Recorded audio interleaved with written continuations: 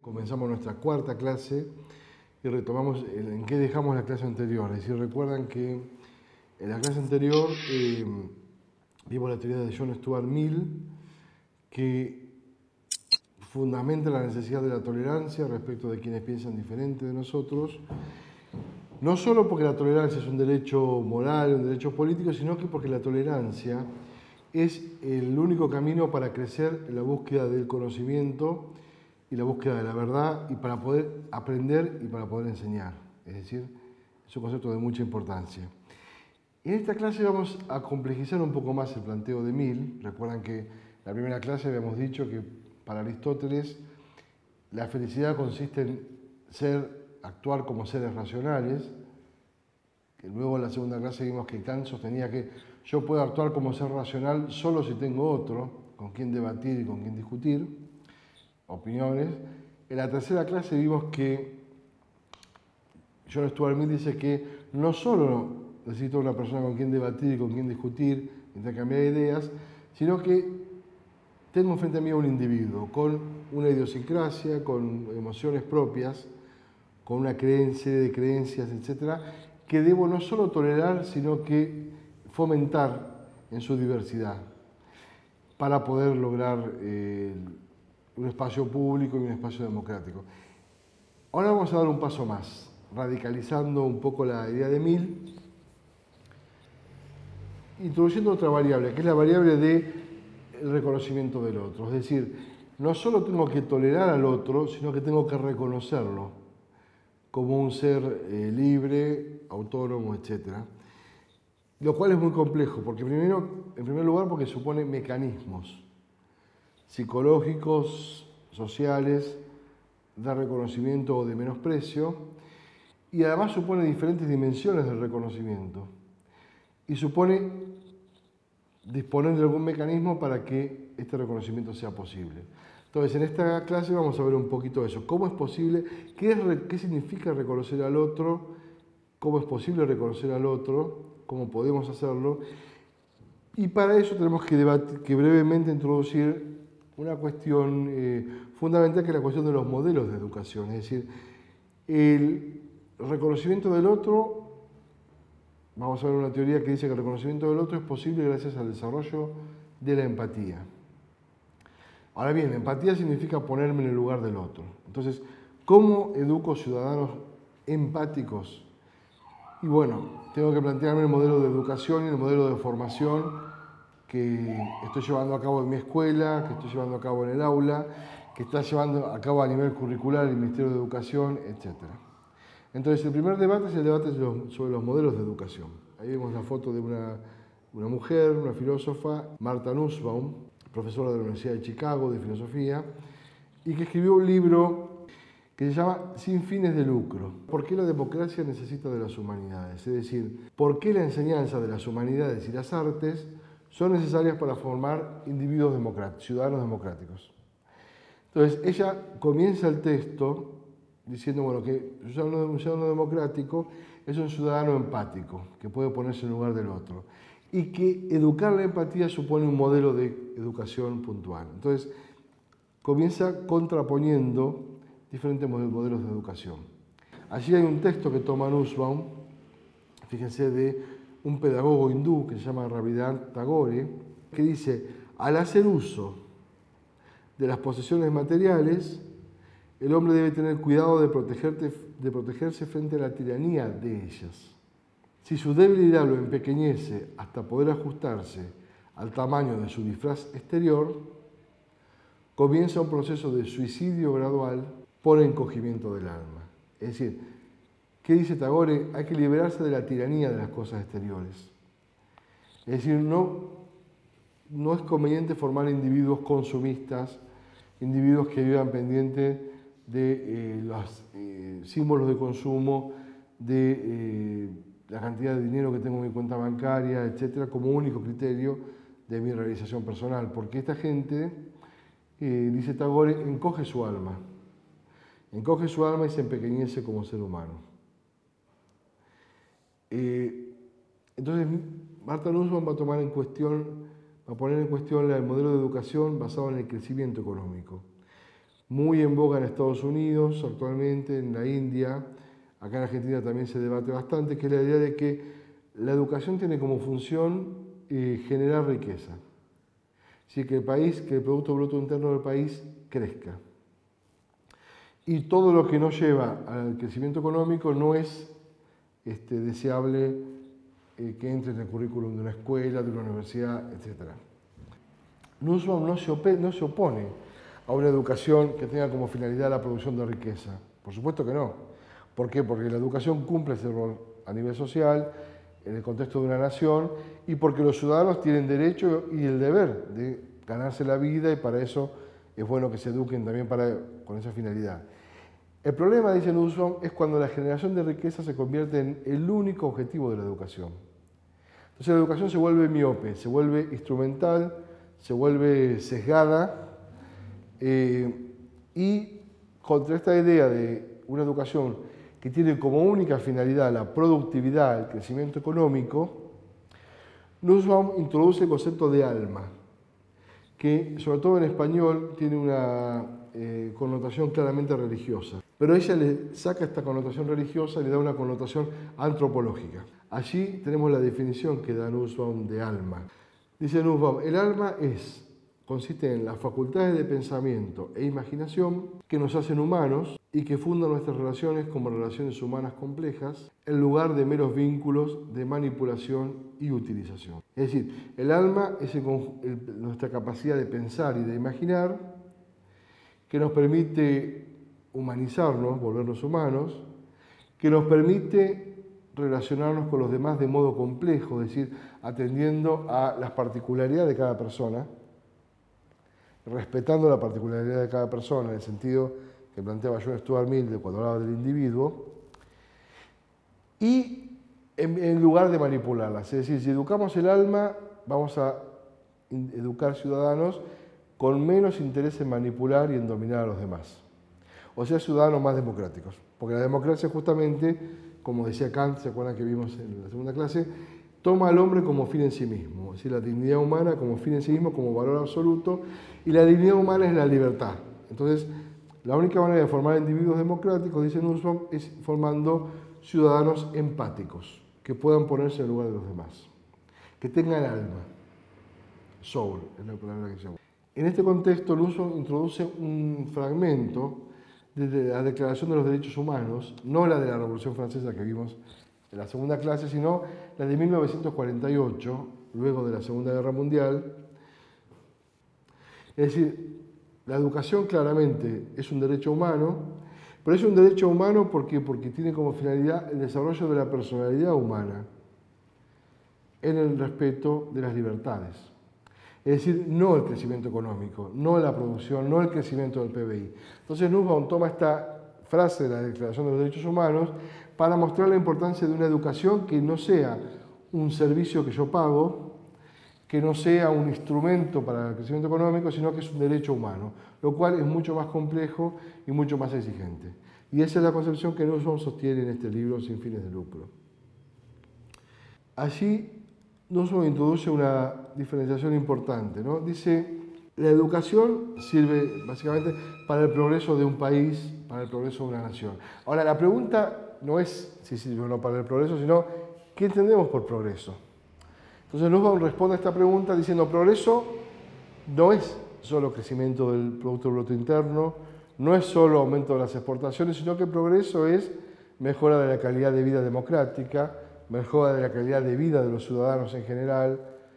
Nussbaum critica, fíjense que critica el modelo de educación basado en el crecimiento económico porque dice es limitado no toma en cuenta otras variables fundamentales que entran en juego en el progreso de un país, como son eh, la salud de la población, el acceso a la salud, el acceso a la educación, la, la vigencia de las libertades políticas, es decir, en qué medida los individuos son libres de decir lo que quieran, de pensar lo que quieran, de eh, votar a quien quieran.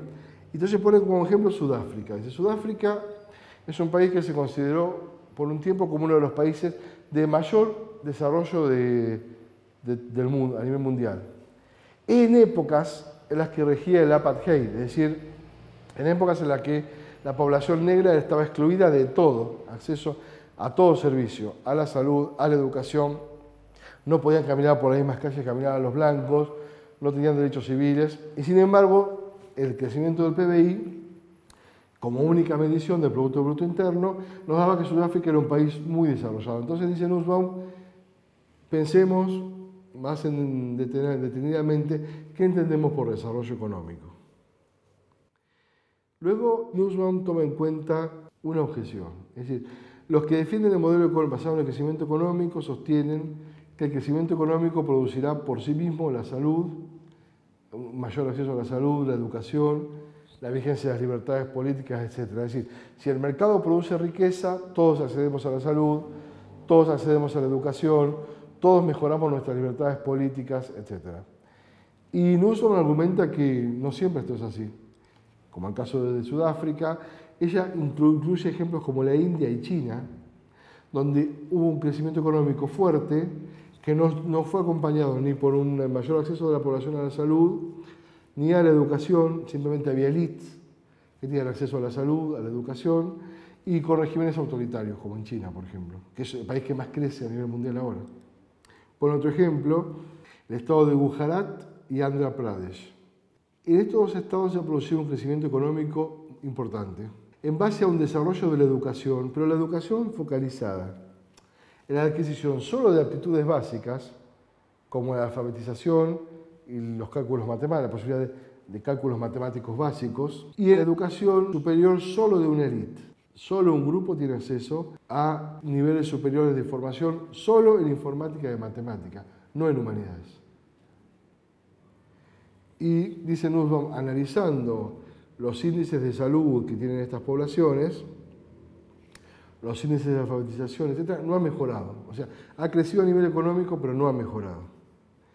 Y por lo tanto, dice Nussbaum, parece que el crecimiento económico no conlleva una mejora necesariamente en otras variables fundamentales para hablar del progreso de un país. Repito, el modelo de educación basado en el crecimiento económico tiene un gran desprecio por la educación en las artes y las humanidades. ¿Por qué? Porque tiene miedo esta gente de que la apertura de mente y la libertad de pensamiento que produce la educación en humanidades y en artes, que lleva al desarrollo de la imaginación y de la creatividad. La imaginación, la creatividad, el pensamiento crítico son enemigos del crecimiento económico como única meta. El crecimiento económico necesita personas que obedezcan, que se desempeñen como robots, como técnicos, que apliquen fórmulas, pero no que piensen por sí mismos, no que imaginen otras posibilidades de organización social, etc.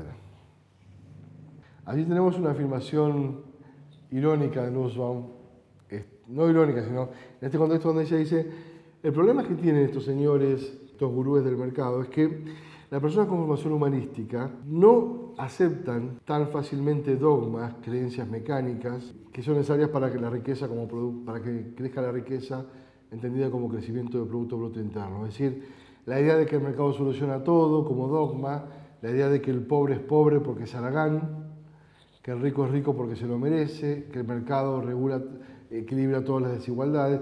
Las personas que tienen formación humanística, formación humanística tienden a criticar estas ideas.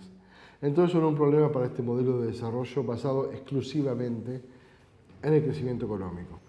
Entonces, el modelo que propone Newsom consiste en que la educación es el desarrollo de capacidades para poder realizarse como persona en los ámbitos de la conducción de la propia vida, la salud, la integridad física, la participación política y la educación. Es decir, toma en cuenta eh, dimensiones mucho más complejas que el mero crecimiento económico y tiene como objetivo el desarrollo de la persona humana. Entonces es un modelo de educación basado en el desarrollo de la persona humana. Volvemos a la pregunta del comienzo de la clase, retomando nuestra clase anterior, donde Mira hablaba de la necesidad de formar individuos tolerantes, abiertos al otro, a la diversidad, decir, ciudadanos democráticos.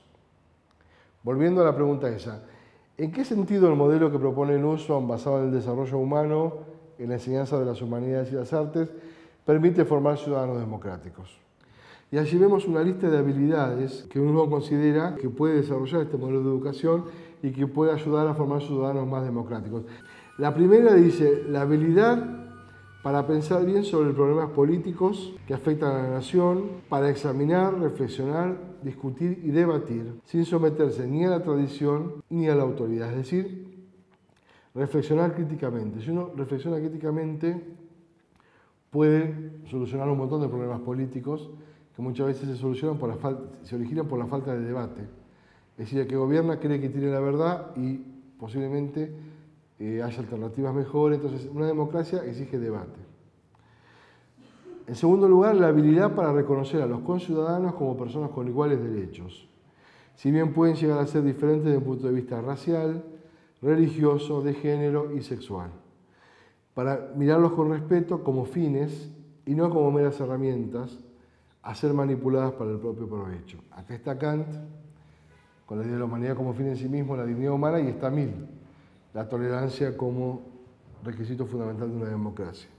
También es importante desarrollar la habilidad de preocuparse por las vidas de otros, de comprender qué significan las políticas de distinto tipo para las oportunidades y experiencias de los ciudadanos de diferente tipo y para las personas fuera de la propia nación.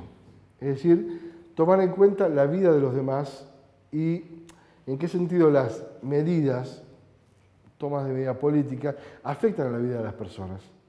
Ser sensible a cómo afecta la vida de las personas las políticas. Cuatro, la habilidad de imaginar bien una variedad de temas complejos que afectan la historia de la vida humana tal como se manifiesta. De pensar sobre la infancia, la adolescencia, las relaciones familiares, la enfermedad, la muerte y muchos temas más, de un modo informado por medio de la comprensión de un rango amplio de historias humanas, no solo gracias a datos agregados. ¿Qué significa? Significa que la educación, que tiene como fin el desarrollo humano, que tiene como medio la educación en, las humanidades y en las artes, nos permite imaginar otras vidas. Es decir, cuando yo veo una película de cine, vivo la vida, ese ratito que estoy en el cine, vivo la vida de esos personajes. Cuando leo una novela, soy Oliver Twist, soy Robinson Crusoe, nos ha pasado cuando éramos chiquitos y leíamos eh, los viajes de Gulliver o la vida de Tarzán, y nos pasa de grandes. Yo me siento como un nene cuando leo una novela, cuando leo un cuento, cuando veo una película. Entonces, nos permite vivir otras vidas, la literatura, el cine. Y al vivir otras vidas nos permite ponernos en el lugar de otras personas, mirar el mundo con otros ojos que no son solamente los nuestros que no son solamente nuestra perspectiva de las cosas. Vamos a hablar dentro de un rato un poco más en detalle de esto. 5. La habilidad de juzgar a los líderes políticos críticamente, pero con un sentido realista e informado de las posibilidades que les están abiertas. Es decir, los ciudadanos con la educación basada en el desarrollo humano pueden juzgar críticamente las, acciones del gobierno. Es decir, someterla a crítica pero una crítica que no sea despiadada ni destructiva, sino una crítica que tome en cuenta qué posibilidades de acción tiene el gobierno. Es decir, esperar que de la noche a la mañana vivamos todos en palacios y volemos en superjet, no, digamos.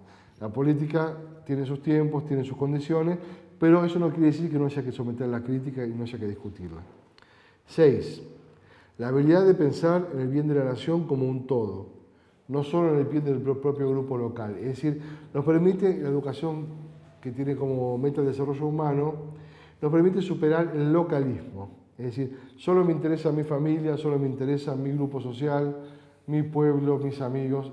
Y en realidad me empieza a interesar el país. Me empieza a interesar la región, me empieza a interesar, me empieza a interesar mi continente, donde vivo.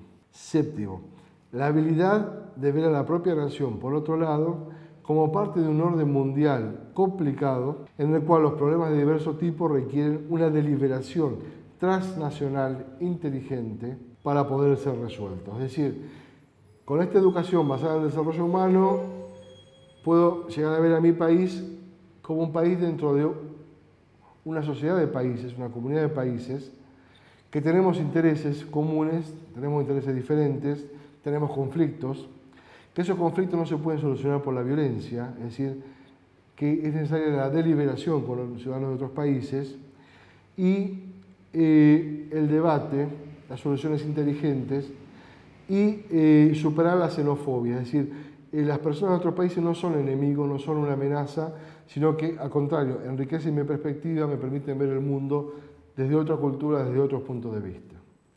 Entonces, con esto terminamos con la primera presentación del modelo de Nussbaum. Para poder profundizar un poquito más en este modelo tenemos que introducir un concepto más complejo, que es el concepto del reconocimiento del otro. Y para eso tenemos que introducir a otro autor, que se llama Axel Honneth, nació en el 49, escribió varios libros importantes. El que más nos interesa para esta exposición es un libro que se llama La lucha por el reconocimiento, por una gramática moral de los conflictos sociales. Es decir, eh, él entiende a la sociedad, a la, dinámica de la, sociedad, de la sociedad, como una lucha por el reconocimiento. Es decir, los sujetos tenemos la necesidad de ser reconocidos por los demás, de ser confirmados como seres valiosos, y esto permitiría explicar muchas luchas sociales, muchos conflictos sociales, intraestatales e internacionales. Entonces, eh, el concepto de reconocimiento, concepto que no es, no ha sido inventado por Honeth, sino que se remonta a eh, la filosofía de, de Fichte, Johann Fichte, un filósofo alemán, que en 1796 publicó un libro que se llama Fundamento del Derecho Natural, el parágrafo 3.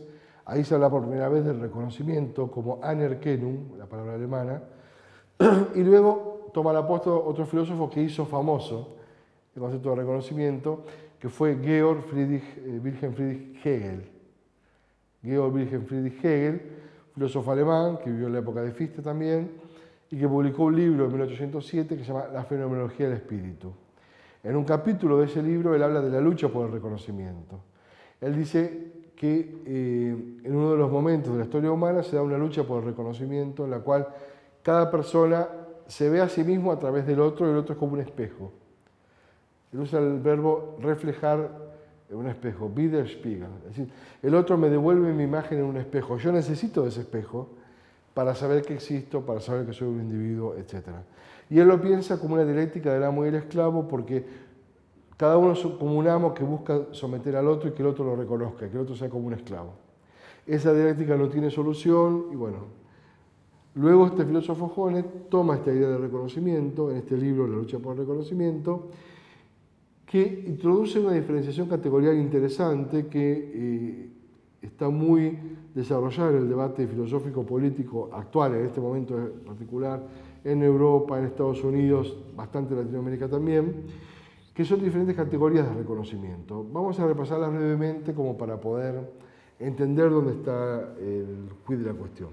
Allí vemos la primera forma de reconocimiento, es decir, los seres humanos, dice Honet, necesitamos ser reconocidos por medio del amor. ¿Qué significa esto?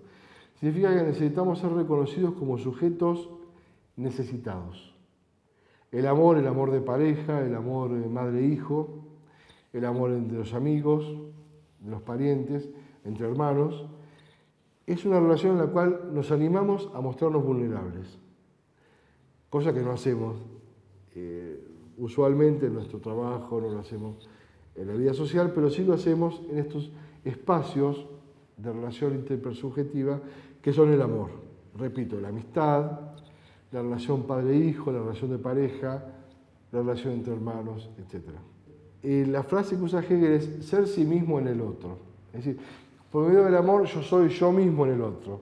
Sich sein in dem anderen. Yo soy yo mismo en el otro porque el otro me refleja. Sin el otro no soy, no existo. Y hay un equilibrio precario, dice eh, entre la autonomía, es decir, tener un espacio propio, y la fusión con el otro. Es decir, fundirme en el otro y tengo que lograr ese equilibrio entre la autonomía y la fusión con el otro. No quedar absorbido en el otro, esas relaciones de pareja absorbentes, esas relaciones padre-hijo absorbentes o de amistad absorbente, eso es una patología, de la, porque ya no es el reconocimiento por medio del amor, sino que es una despersonalización del sujeto donde habla de la segunda forma de reconocimiento, que es el derecho. Entonces dice Hollet, el derecho nos permite darle ciertas prerrogativas al otro. Un derecho es una prerrogativa, es decir, una especie de privilegio que tengo, no sé, de usar mi propiedad privada como quiera, de circular por la calle como quiera, etc. Pero es una prerrogativa que tiene, que tiene dentro de sí una forma de reconocimiento. Porque implica que yo reconozco al otro como un sujeto responsable, como una persona moralmente responsable. Es decir, la idea sería la siguiente, si yo recibo un derecho, es porque el otro me reconoce como un sujeto responsable moralmente, capaz de actuar a partir de sus propias convicciones. Entonces, si no hay derecho, el sujeto no se siente moralmente responsable. Si no hay un derecho, el sujeto se siente degradado moralmente, menospreciado moralmente. La tercera forma de reconocimiento, la solidaridad, que es en algún punto una especie de síntesis de las otras dos. Porque la solidaridad implica el reconocimiento de que el sujeto tiene ciertas cualidades, ciertas capacidades que son valiosas y que él puede aportar a la sociedad. Es decir, ¿para qué sirvo? ¿En qué soy útil a la sociedad?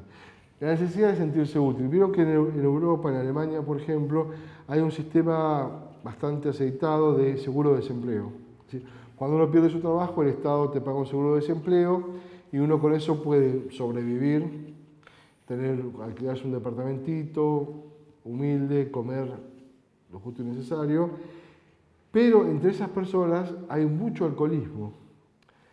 Y la pregunta es ¿por qué? Porque esa persona, a pesar de que tiene sus necesidades satisfechas, no se siente útil.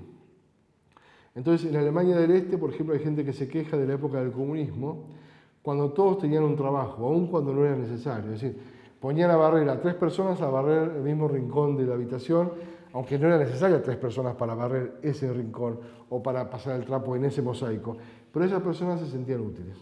Entonces, bueno, esto es lo que Jones llama la solidaridad.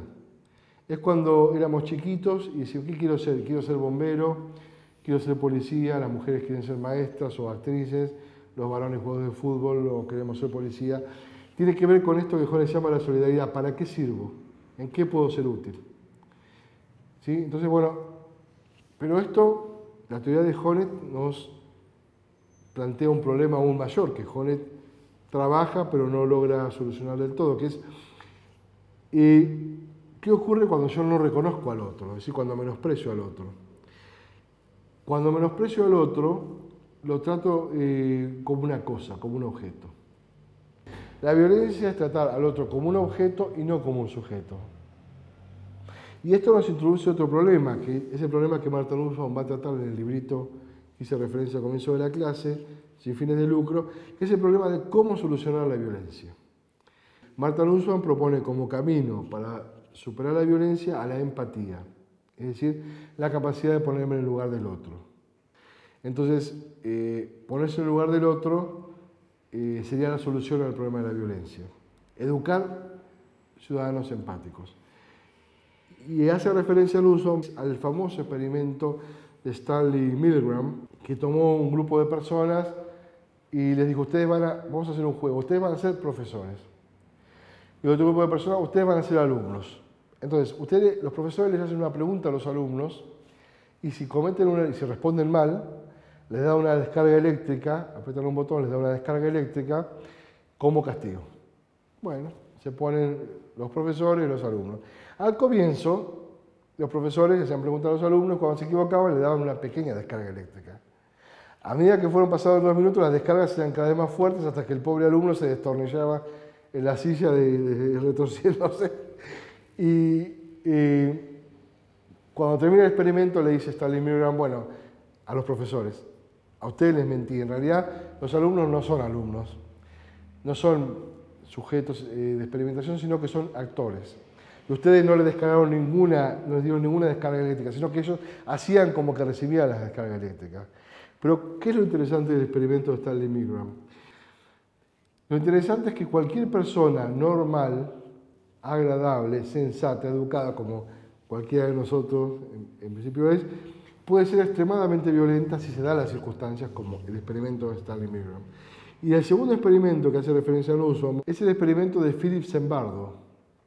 Ahí ven que hay una cárcel, una prisión. Philip Zimbardo llevó un grupo de eh, estudiantes y le dijo, ustedes van a ser de carceleros, otro grupo ustedes van a ser de prisioneros.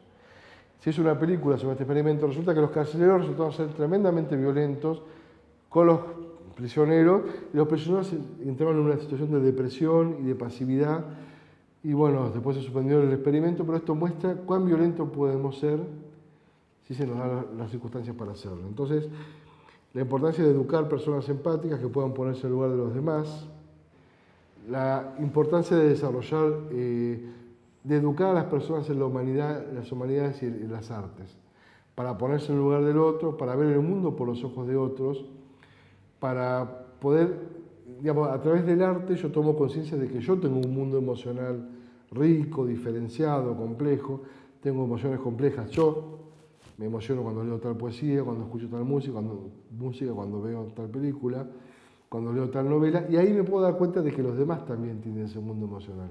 Es decir, el violento normalmente tiene un mundo emocional chato, chato, pobre. Entonces, Nussbaum propone como ejemplo el de coro de niños de Chicago, ahí ven que están cantando, eh, un coro de niños que se organizó en Chicago, en las zonas más pobres y más violentas de la ciudad, que permitió bajar mucho la violencia, porque cantaban niños de diferentes orígenes sociales y se conocían mutuamente y cantaban el repertorio de otras culturas y se ponían en lugar de otras personas y tenían otra visión del mundo. Entonces, bueno, de esta manera terminamos la clase, nuestra cuarta clase y los invito a eh, reencontrarnos en la quinta clase donde vamos a tratar el problema de la pobreza y la educación. Muchas gracias por su atención y su concentración.